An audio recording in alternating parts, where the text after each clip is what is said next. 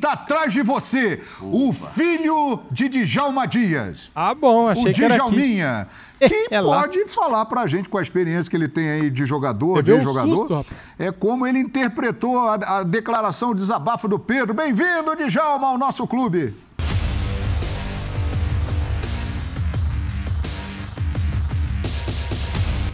Salve, salve nação, saudações! Sejam bem-vindos a mais um vídeo top do canal. Neste vídeo aqui vamos ver o que que João Guilherme Pascoal, o quem mais que tá aqui?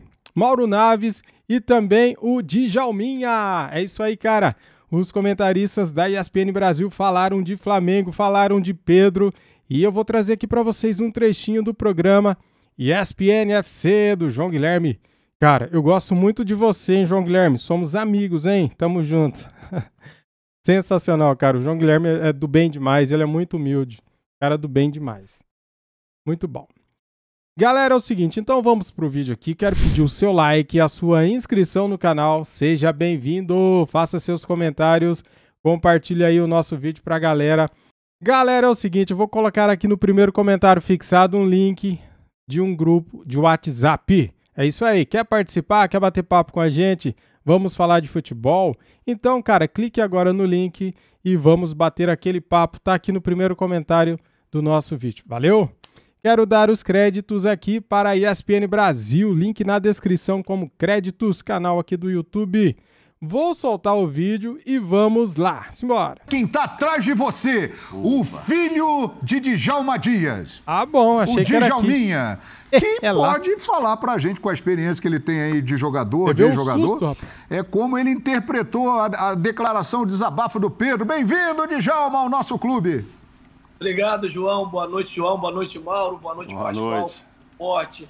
Good night. Ô, ô, João, eu acho que essa história estava demorando, né? Já a, a ter um pronunciamento do Pedro, dar uma posição.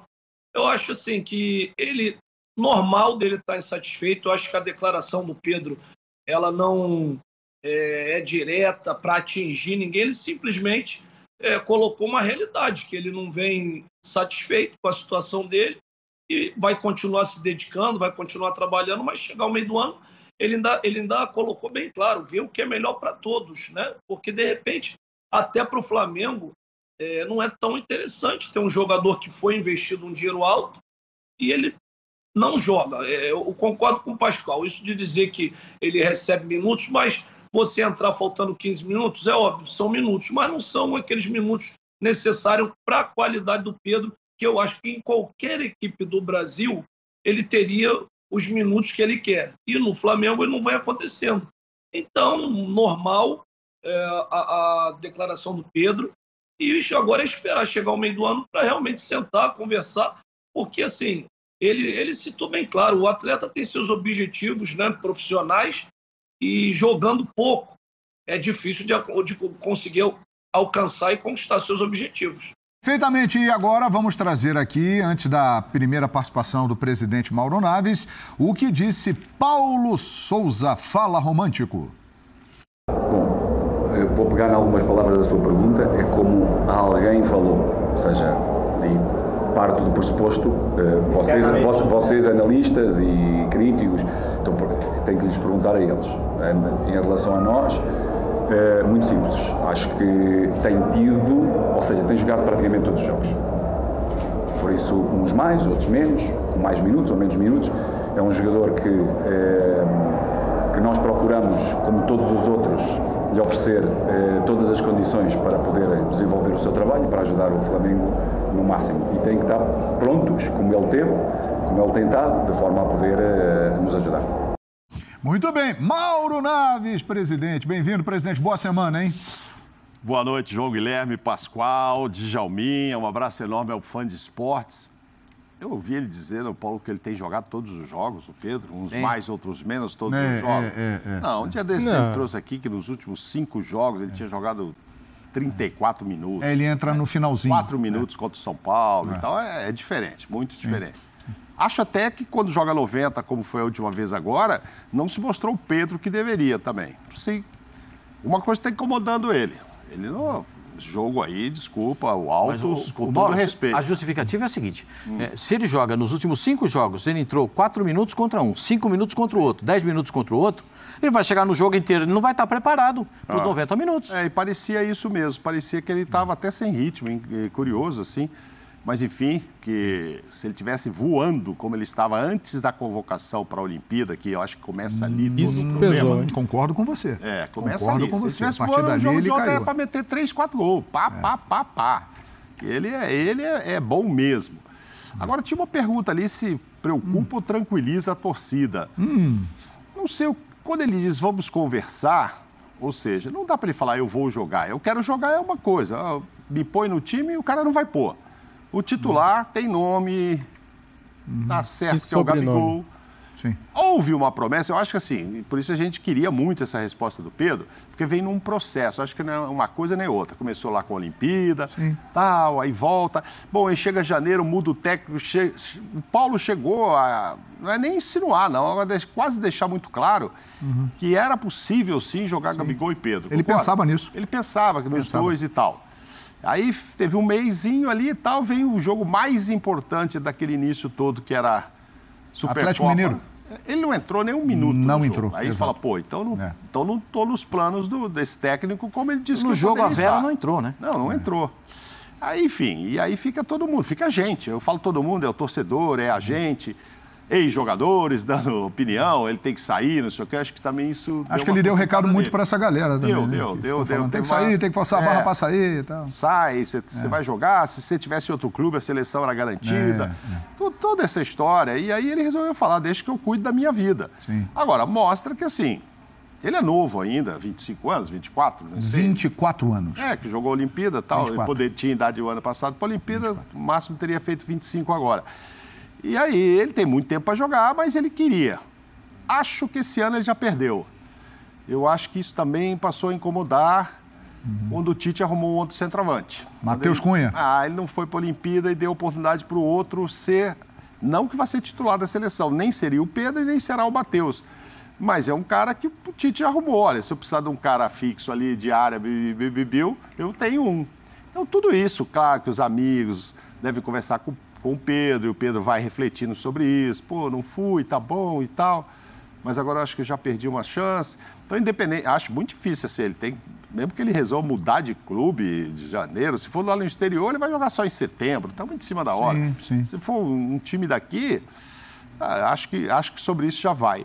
Mas ele está certo. E a gente, como disse o Pascoal, estava esperando por essa declaração. Ó, deixa comigo que eu resolvo isso deu a entender que se o Gabigol não sair, hum. aí ele vai querer sair. No meio do ano a gente conversa. É, essa história de meio do ano conversa, porque aí eu vou esperar. Será que o Gabigol vai ter uma proposta boa essa, e vai querer? Tem essa? Pode aparecer, pode aparecer.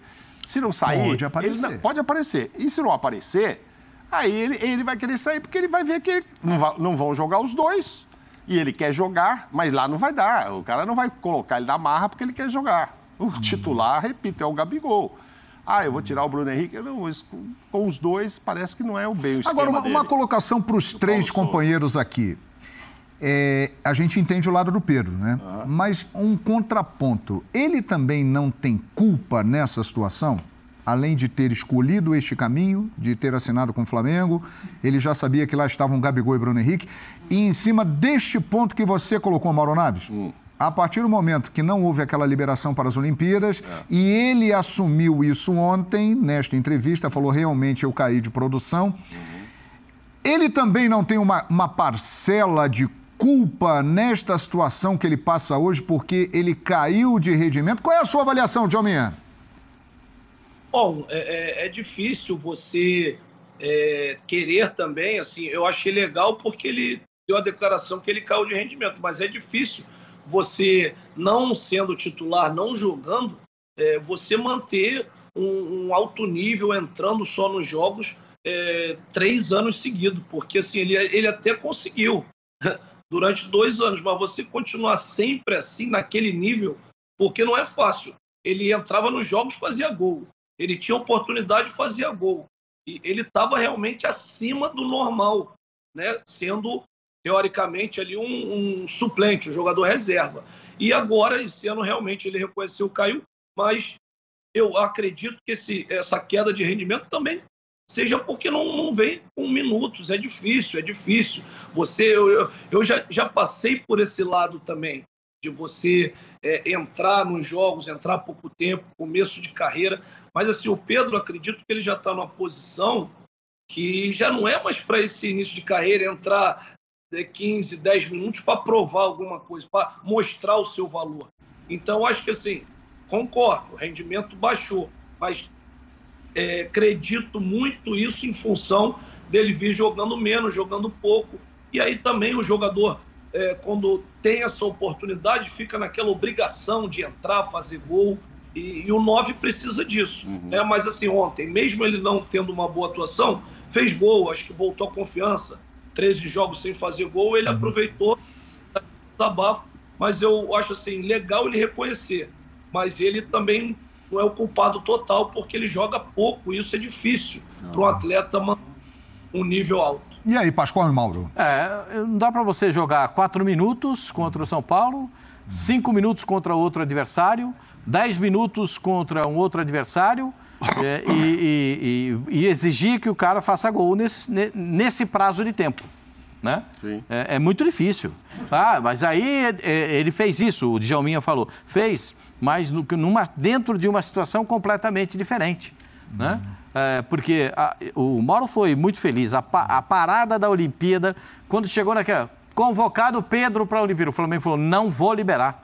Exato. Aí ele Aí se entristeceu. Desandou, Aí, ele se entristeceu. E eu acho que ele se entristeceu uhum. com justiça. Porque uhum. se, se, se, se, eu, se eu sou o Pedro, eu também ficaria triste. Quem é que não quer jogar a Olimpíada? Quem é que não queria ganhar uma medalha olímpica com a seleção brasileira? Pode ser um sonho dele, jogar a Copa do Mundo, jogar Olimpíada com a camisa da seleção brasileira. Uhum. E a seleção foi campeã na Olimpíada. Foi. Ele poderia também ter trazido essa medalha de ouro, está lá no Mas seu qual, currículo. E o prejuízo, desculpa, só complementaria, o prejuízo não foi só este esportivo da medalha, foi dar a oportunidade para aparecer um outro. Isso. Também. É. É o Matheus apareceu é. porque ele seria o titular na seleção, o Matheus talvez não tivesse as oportunidades de aparecer como apareceu, então tem além de todo esse prejuízo esportivo, que ele deve falar, pô, não ganhei. Tem um prejuízo pessoal. tem a história, pô, é. eu dei brecha para outro aparecer é. e cair nas graças. Eu tenho uma informação aqui interessante. Opa. E detalhada, atenção. Pedro participou nesta temporada de 19 jogos. Ele jogou três partidas pela Libertadores, totalizando 30 minutos. Ou seja, jogou 10 jogos, 10 minutos cada partida. Exatamente. Ele jogou Brasileirão três jogos, 102 minutos. Meia hora. Copa do Brasil, um jogo, 90 minutos. Foi o de ontem. Campeonato Carioca, 12 jogos, 600 minutos. Ele jogou bastante no Carioca. 19 jogos e 822 minutos. Olhando esses números aqui, eu chego à seguinte conclusão. O, o Mauro Naves disse, o, no início do ano, o Paulo Souza pensava realmente colocar o Gabigol e, e o Pedro Chegou juntos. Chegou a colocá-los. Chegou a colocá-los. A partir do momento que começaram aqui as competições mais pesadas e ele jogou mais no Campeonato Carioca, eu tenho a impressão de que ele não agradou naquele período de testes de pré-temporada no Campeonato Carioca, porque ele jogou ou, 600 minutos ou, aqui no Carioca. Ou há um entendimento é. de que ele e o Gabigol não conseguem fazer as funções pedidas pelo treinador. É, pode ter sido. Alguma coisa Porque, aconteceu aí, a, imagina, imagina o treinador que eles acabam ocupando o mesmo espaço uhum. dentro de uma partida. Porque o Pedro é um jogador de área, mas não exclusivamente uhum. da área. O Pedro também sai para buscar uma bola, sai para dar um drible, sai para dar uma arrancada. O Pedro tem qualidade para fazer isso. É, é eu acho que a simbologia desses números que você mostrou agora, hum. eu, nem sou especialista em números, você sabe que o nosso especialista olha aqui, olha tá, números é, é, é, é outro. Ele já vai falar a respeito, ele adora esse negócio de, de porcentagem, números, essas coisas. Ele tem uma tabelinha já, ele já fez uma tabelinha ali. Então, só para você anotar, uh, dez, ele jogou 10 minutos cada partida da, da, da, do, do Campeonato Brasileiro. Em média, sim. 10 minutos. É. Então, Três é... jogos, 102 minutos no Brasileirão. Não, é, a gente fala em média, mas se você pensar que um desses jogos foi contra o São Paulo, que ele jogou só quatro minutos, o que, que o cara hum. vai fazer? Ah, então o outro jogou o quê? Ah, 15 minutos. Mas também é muito pouco. Mas aí, como você é um, um, um, um, um cara Brasileirão, ele jogou números, 40 minutos, é, 30 e poucos minutos então, por jogo, 10, né? Dá 10 minutos. É, no Brasileiro, 10, é, 30 porque ele fez... É, são 102 minutos em três jogos, hein, presidente? Você que é bom de conta. 30 e poucos 30 minutos. E poucos minutos. Mas se ele mas jogou um inteiro... É. Se ele jogou um inteiro. Na Libertadores sobrou... foram 10 minutos por, por jogo. jogo. É, Três média. jogos, 30 minutos. Então, em média, mas eu digo é. isso é uma, em média, mas nem isso tem acontecido. Porque hum. do brasileiro, ok, daria meia hora em média. Meia hora. Mas se ele jogou aí um quase todo, sobrou hum. poucos minutos para repartir entre os dois. Então sim, é difícil sim, cobrar. O que sim. o Djalminha está falando, dessa sim. sequência, o Pascoal está falando. Você falou que ele jogou muito no Carioca. Ele 12 jogou... jogos, 600 minutos. 12 e jogos. correspondeu. Quantos gols ele fez? Não, ele tem quatro gols na temporada. E não, e de... No Carioca ele fez três gols. Então, mas jogou 55% dos jogos é. do Carioca. Mas no Carioca, hein? Não, e, e ainda assim jogou metade.